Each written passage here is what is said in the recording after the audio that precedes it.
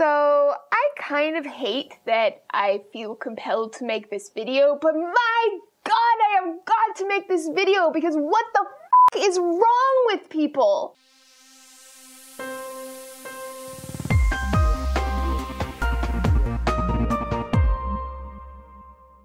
Y'all heard about what happened in Steubenville, right? You didn't, what the hell are you doing with your life? Get out from under that rock. From start to end, Steubenville is literally a chain of one terrifying event after another. From an unconscious, drunk girl being raped repeatedly and then blamed for it, to her peers watching and taking pictures and videos of it, to her rapist seriously claiming that it was consensual even while referring to her as the dead girl, to the mainstream media mourning how awful it must be to be convicted of rape.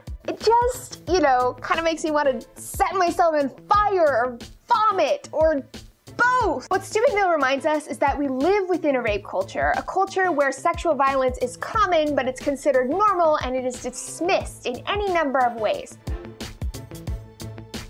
Everyone was calling Jane Doe the dead girl, even though Trent Mays took a picture of her passed out with his cum on her, even though he sent a text that said, lol, she couldn't even move, the boys still claim it was consensual. I don't know about you guys, but I engage in conversations with people when I'm unconscious all the time. One of the people said, I didn't realize it was rape. It wasn't violent. I thought rape was forcing yourself on someone. Here's what people need to know about rape. It's not usually violent. It's not always forced and it's usually done by somebody that you know. Rape refers to any sort of penetration that doesn't come with an explicit, yes please, I like that. Common type of party rape is that the rapist pushes and pushes and disrespects boundaries and the victim feels like they can't say no or like a no would not stop them from doing it. Which is why consent to sex does not mean there was no no. Consent to sex means there was a yes because you asked, hey, are you into this? Do you like this? Do you want me to keep going? Another yes is that both people are actively participating. It is not Yes, that means yes. Whoops. No, it doesn't. Guess that means rape. But what about when alcohol's involved? It is essential that verbal and nonverbal consent are obtained. However, this only applies to a certain point. Once they are slurring, can't walk straight, throwing up in the street, passed out in a basement, they can't give consent under any circumstances. I mean, who wants to have sex with someone who isn't participating in it? Oh, right. Rapists do.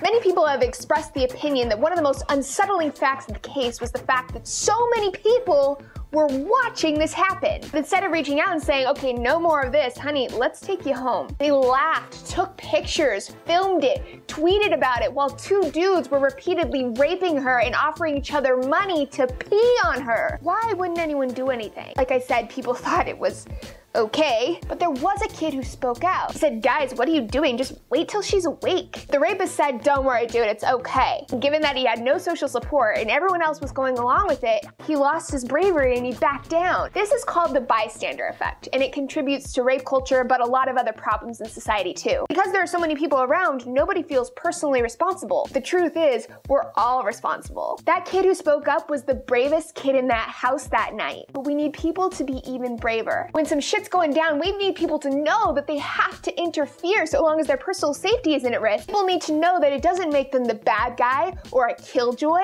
it makes them a hero.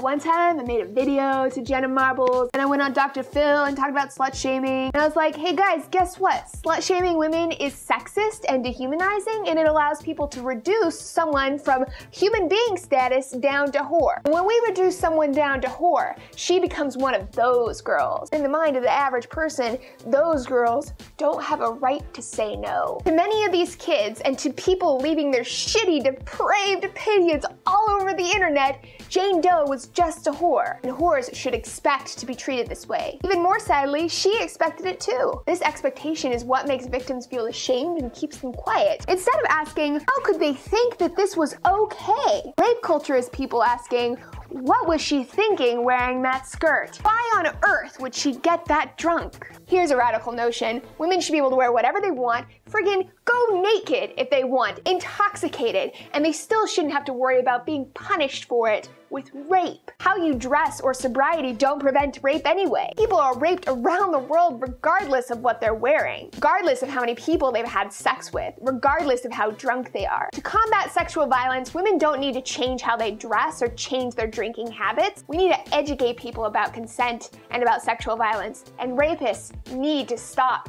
raping. Cherry on the fucked up sundae. It's how the media responded after, for once in like a bajillion cases, rapists were held accountable for their actions. CNN reported that it was, quote, incredibly difficult to watch as these two young men had such promising careers and their lives fell apart. NBC lamented that they now have to register as sex offenders, kissing goodbye their dreams of playing college football. No!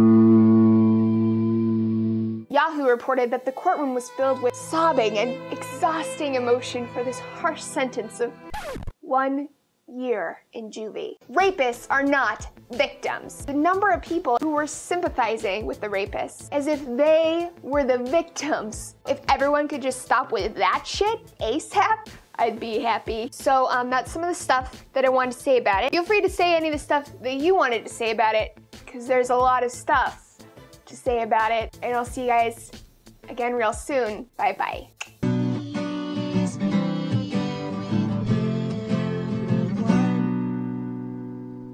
Except your mom. Oh. What?